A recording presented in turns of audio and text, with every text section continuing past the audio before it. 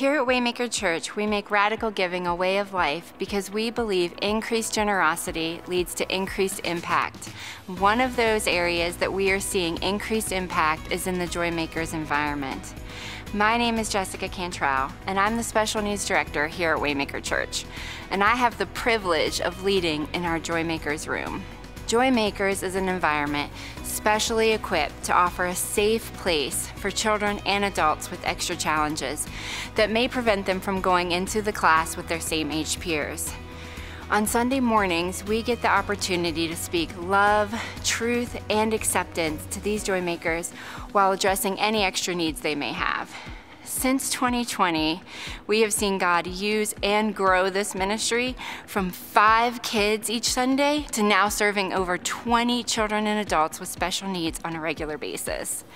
Not only do we get to serve the Joymakers themselves, but this also allows the parents, caregivers, and siblings of Joymakers to be able to freely come and attend church, build community, and take their next steps with Jesus three weeks after we had come here, uh, my son at the time was still pretty much nonverbal, uh, but he knows how to text. And he texted me and said, uh, Dad, I love our new church.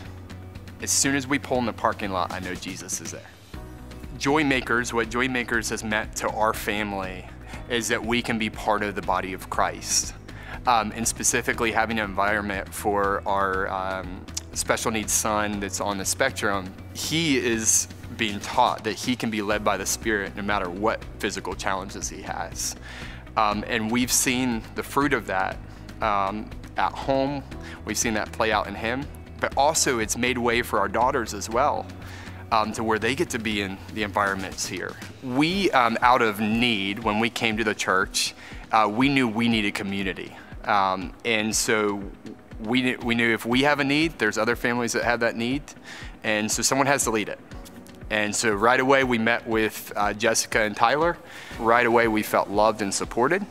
Um, and yeah, so we, we started the Joy Makers community group out of necessity for community for our own family.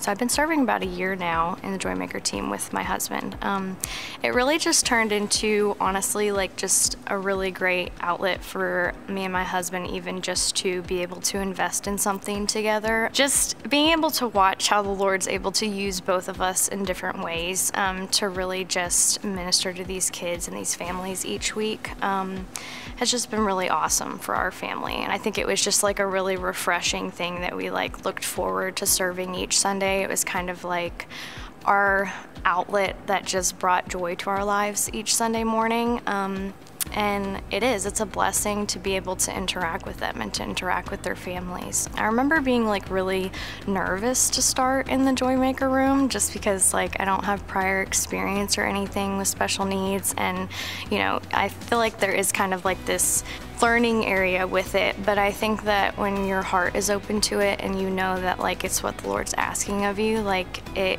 comes very naturally because he equips you with what you need to do. I know um, for me it's just been really huge to even just see how excited the kids are um, to come to church um, and just know that like they're so excited when they come in the doors. Like they're just so ready to be there and so excited to interact with us, to even just know each of us by name, um, those of us that serve really regularly every time that they're able to come and just fully be themselves. Um, I love being able to be a part of that. When you partner with us through giving to the Waymaker Fund, you are part of making a way for these families. If you would like to partner with us, you can go to waymaker.church/give.